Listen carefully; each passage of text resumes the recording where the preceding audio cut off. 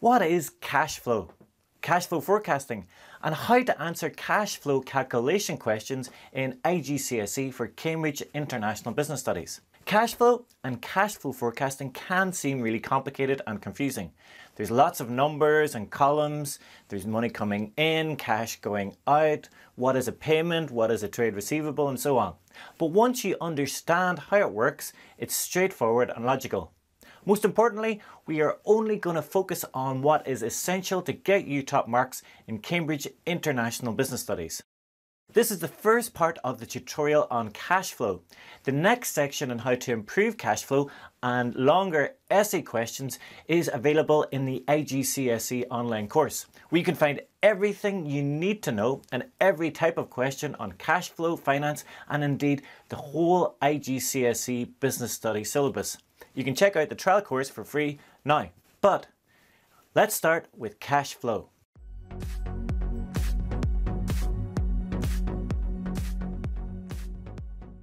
Nearly everyone will be aware of the importance for a business of making a profit and have a basic idea of how profit is calculated. You take away your costs from sales. However, cash flow can be just as crucial for business people as cash is the lifeblood of a business. Without enough cash, the business won't survive. So it's essential as students of business that we get to grips with cash flow. You need to know why cash flow is important be able to interpret a cash flow forecast and recommend ways of improving cash flow. Cash flow questions can be simple calculations to find the value of X and Y in a cash flow forecast or longer questions where students must look at case study data and recommend ways of improving cash flow. What is cash? Well, it's money we can use right away to pay bills or debts that the business may have. It may not be physical cash. Most transactions are online these days, but it has to be in a business bank account and available if needed. For more on the difference between profit and cash, go to 5.3 and income statement. Day to day, a business will have cash coming in. Cash for inflow is when cash comes into the business, like when the business receives payment from sales or receives money from a bank loan. Cash outflow is when cash goes out of the business and occurs when a business has to pay bills like suppliers, rent, workers' salaries, or repay a bank loan. If the cash outflows all happen before the cash inflows, the business will have cash flow problems. If the business can't pay its workers, they will stop working. And if they can't pay their suppliers, production will stop. This will eventually force the business to stop operating and it will close. This is often referred to as bankruptcy or insolvency. To avoid this catastrophe, the business has to ensure there's enough cash at all times so they can pay their bills. Liquidity is the term used to describe cash flow. If a business is liquid, it can pay its short-term debts. To help manage cash flow, businesses may use a cash flow forecast. Managers can look into the future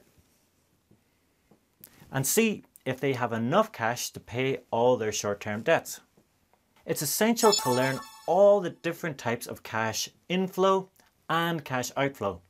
This is really going to help when understanding the cash flow forecast. The most common mistakes are when students confuse different types of cash inflow and cash outflow. Cash flow forecast can look complicated. There's lots of numbers and columns, but once you understand how it works, it's straightforward and logical. I've used the cash flow forecast model that's used in Cambridge IGCSE exams, so you know exactly what you're going to be dealing with. At the top, we've got cash inflow, usually from sales, in this case $200. Then we have to calculate the cash outflow. We do this by adding up all the cash outflows. In this case, raw materials and the rent of the shop. This gives us a total of $150. We then subtract the cash outflows from the inflows and this gives us the net cash flow of $50. Final step is to add the net cash flow to the cash that was already in the business or opening balance. This then gives us the closing balance of $150. The closing balance for one month becomes the opening balance for the next. So the closing balance of $150 in June becomes the opening balance in July. The closing balance that we get for July becomes the opening balance for August and so on. So now let's work through July and August using the same calculations.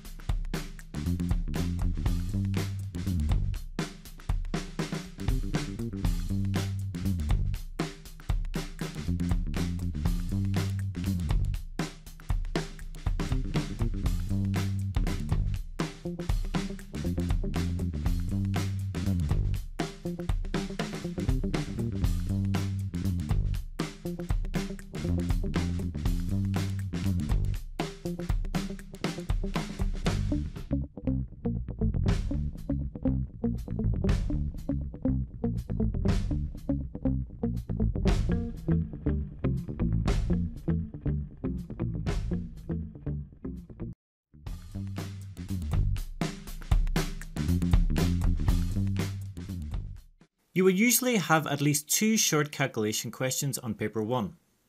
You only have 2 minutes for calculating the values of x and y. You won't get any marks for showing you're working out in this question as it's just one mark for each correct calculation. To calculate x, the closing balance, we add the net cash flow and the opening balance. In this case, negative 230 and 0. So the answer is negative 230.